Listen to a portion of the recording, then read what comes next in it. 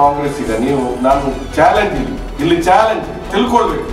ಒಬ್ಬನೇ ಒಬ್ಬ ಕಾಂಗ್ರೆಸ್ ಈಗ ಹಿಂದೂ ಆಗಲಿ, ಮುಸ್ಲಿಂ ಆಗಲಿ ಎಫ್ ಐ ಆರ್ ಕೇಸಲ್ಲಿ ಇಲ್ಲ. ಯಾವುದೇ ಪೊಲೀಸ್ ಸ್ಟೇಷನ್ನಲ್ಲಿ.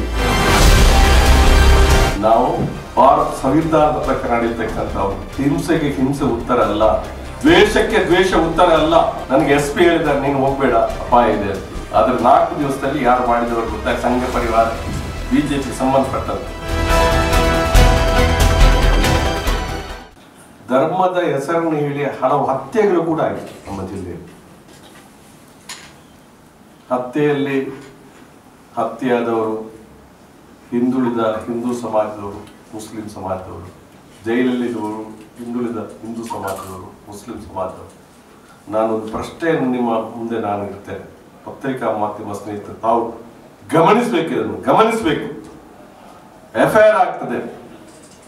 ಹತ್ಯೆ ಆದಾಗ. ಎಫ್ ಐ ಆರ್ ಆಗುತ್ತೆ. ಆ ಎಫ್ ಐ ಆರ್ನಲ್ಲಿ ಎರಡು ಮತೀಯ ಸಂಘಟನೆಗಳ ಜನರ ಮಾತ್ರ ಎಫ್ ಐ ಆರ್ ಹಿಂದೂ ಸಂಘಟನೆ ಅಂತ ಹೇಳುವ, ಮುಸ್ಲಿಂ ಸಂಘಟನೆ ಅಂತ ಹೇಳ್ತಿರ್ತಾರೆ ಒಬ್ಬನೇ ಒಬ್ಬ ಕಾಂಗ್ರೆಸ್ ಈಗ ನೀವು, ನಾನು ಚಾಲೆಂಜ್ ಇಲ್ಲಿ. ಇಲ್ಲಿ ಚಾಲೆಂಜ್ ನೀವು ಪತ್ರಿಕಾ ಮಾಧ್ಯಮ ಅಂತ ನೀವು ಇದನ್ನು ತಿಳ್ಕೊಳ್ಬೇಕು. ಒಬ್ಬನೇ ಒಬ್ಬ ಕಾಂಗ್ರೆಸ್ ಈಗ ಹಿಂದೂ ಆಗಲಿ, ಮುಸ್ಲಿಂ ಆಗಲಿ, ಎಫ್ಐಆರ್ ಕೇಸಲ್ಲಿ ಇಲ್ಲ. ಯಾವುದೇ ಪೊಲೀಸ್ ಸ್ಟೇಷನ್ನಲ್ಲಿ ಯಾವುದೇ ಪೊಲೀಸ್ ಸ್ಟೇಷನ್ನಲ್ಲಿ ಎಫ್ಐಆರ್ ಕೇಸ್ನಲ್ಲಿ ಹಿಂದೂ ಆಗಲಿ, ಮುಸ್ಲಿಂ ಆಗಲಿ ಕಾಂಗ್ರೆಸ್ ಅವರಿಲ್ಲ ಭಾರತ ಸಂವಿಧಾನದ ಪ್ರಕಾರ ನಡೀತಕ್ಕಂಥವ್ರು ಬಾಬಾ ಸಾಹೇಬ್, ಭೀಮರಾವ್ ಅಂಬೇಡ್ಕರ್ ಅವರು ಏನು ಹೇಳಿದ್ದಾರೆ? ಅದನ್ನ ಅಕ್ಷರಸ ಪಾಲಿಸ್ತಕ್ಕಂಥ ಒಂದು ಸಂಘಟನೆ. ಹಿಂಸೆ ಆಗ್ಬಾರ್ದು ಅಂತ ಹೇಳ್ತಕ್ಕಂಥವ್ರು. ಹಿಂಸೆಗೆ ಹಿಂಸೆ ಉತ್ತರ ಅಲ್ಲ. ದ್ವೇಷಕ್ಕೆ ದ್ವೇಷ ಉತ್ತರ ಅಲ್ಲ. ಒಂದು ಸಂದರ್ಭದಲ್ಲಿ ನನ್ನ ಪಕ್ಷದ ಪಂಚಾಯತ್ ಅಧ್ಯಕ್ಷ ಒಬ್ಬ. ಅವನು ಉಪಾಧ್ಯಕ್ಷನಾಗಿದ್ದವನು. ಅವನು ಹತ್ಯೆ ಆಯಿತು. ಕಾಂಗ್ರೆಸ್ನವನು. ನಾವು ಪ್ರತಿಕಾರದ ಕಾರ್ಯಕ್ರಮವನ್ನು ಮಾಡಿ ಆಕ್ಷನ್ಗೆ ರಿಯಾಕ್ಷನ್ ಅಂತ ಕೆಲವು ಹೇಳ್ತಾರೆ.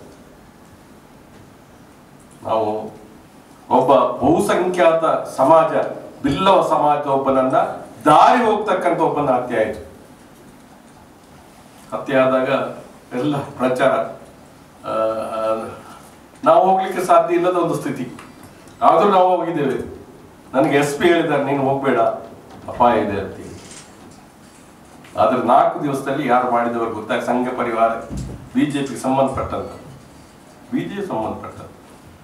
ಅವರು ಸಿಕ್ಕಾಕೊಂಡು ಕೇಸ್ ನಡೆಯಿತು.